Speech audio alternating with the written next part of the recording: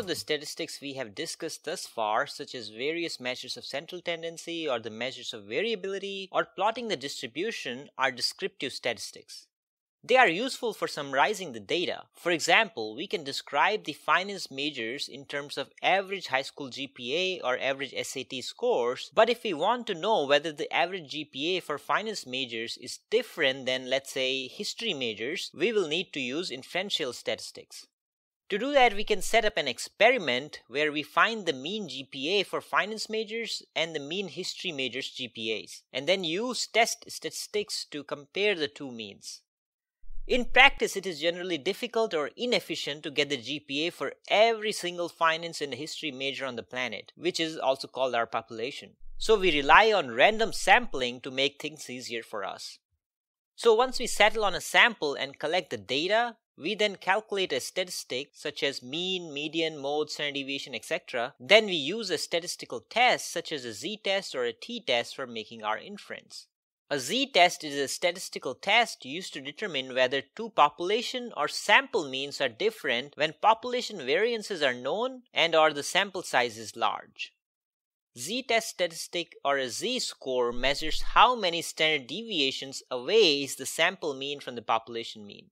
Here is the formula for calculating a z-score z equals to x minus the population mean divided by the standard error, which is the standard deviation divided by the square root of number of observation. Let's look at an example. Assume the average test scores for exam 1 is 70 and the standard deviation of the exam 1 scores is 10. Assume that the student number 9 scored 86.5 on the exam. Note that we are only looking at one score of 86.5 and hence n equals to 1 in this case. Here is how we will calculate the z-score z equals to 86.5 minus the mean of 70 divided by the standard error of 10, which gives us a z-score of 1.65. So the score of 86.5 is 1.65 standard deviations away from the mean score of 70. We can convert the z-score into probability using a z-table. So a z-score of 1.65 corresponds to the probability of 95.05%.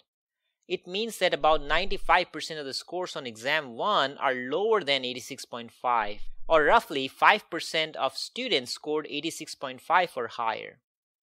Now let's say instead of one score we randomly select four scores and the average of the four scores is 74. In this case the z-score is calculated as follows z equals to 74 minus 70 divided by the standard error which is calculated as the standard deviation of 10 divided by square root of n which is 4 in this case. This gives us a z-score of 0.8. Looking at the z-table, we find that the probability associated with the z-score of 0.8 is 78.81%. Hence, the probability of finding a sample of four scores with an average of 74 is 100 minus 78.81% or 21.19%.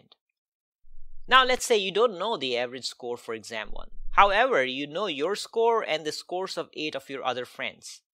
You calculated the average score for 9 students, 8 friends' scores, and 1 yours as 72. Now, if someone asks you what is the average score for exam 1 for the entire class, your best guess is 72, which is also called a point estimate of the population mean, as it is just one number. Alternatively, we can calculate the range of plausible values for the unknown class average score. This is known as confidence interval. Let's start with our z-score formula and let's call our sample mean as x bar. So z equals to x bar minus mu, which is the population mean, which we don't know in this case, divided by the standard error, which is again recall. Standard error equals to the standard deviation divided by the square root of n. Rearranging the equation gives us mu equals to x bar minus z times the standard error. This becomes the left or the lower bound for the confidence interval. And x bar plus z times standard error becomes the right or the upper bound for the confidence interval. To find the z for the confidence interval formula, first we need to pick a level of confidence we want. The most common ones are 90%, 95%, or 99%. Let's assume we want to be 95% confident or 2.5% in each tails. Then looking at the z-table for 97.5% or 0.975, we find that the z-score of 1.96 corresponds to the probability of 97.5%.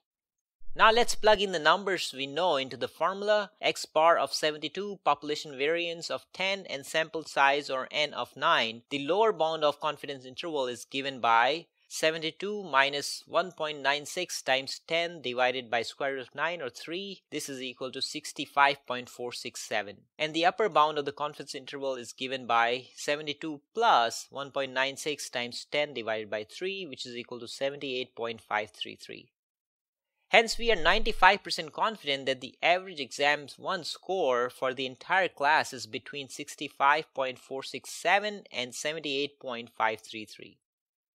In this example, we knew the population variance of 10, but in the real world, more than likely, we will not know the population variance. In this case, the preferred statistical test is the t-test. The formula for calculating the confidence interval using a t-distribution remains similar to a z-distribution. We only change the z-distribution to a t-distribution. T-distribution has a fatter tail as compared to a z-distribution. The t-distribution is completely characterized by one parameter degrees of freedom of n minus 1. So the lower bound of confidence interval using a t-distribution is given by x bar minus t with n minus 1 degrees of freedom times the standard error. And x bar plus t with n minus 1 degrees of freedom times standard error becomes the right or the upper bound of the confidence interval. Continuing on our example of a sample of 9 scores for exam 1 with the mean of 72 and now let's assume that the standard deviation for the 9 sample scores is 12. Note that this is different than the population standard deviation. We already learned how to calculate the standard deviation for the sample in the previous videos. Looking at the t-table with n minus 1 or 8 degrees of freedom for a 95% confidence interval or 2.5% in each tail is 2.306. Hence, the lower bound of the confidence interval is given by 72 minus 2.306 times 12 divided by 3, which is equal to 65.082 and the upper bound of confidence interval is 72 plus 2.306 times 12 divided by 3 or 78.918. Hence, in this case, when we don't know the population variance and using a t-distribution, we are 95% confident that the average exam score for the entire class is somewhere between 65.082 and 78.918. Note that for a larger sample with number of observations greater than 30, z-statistics approaches a t-statistic, and hence use of either is acceptable even with the unknown population variance. That's all for this video and in the next video we'll see how we can use Python to calculate our confidence.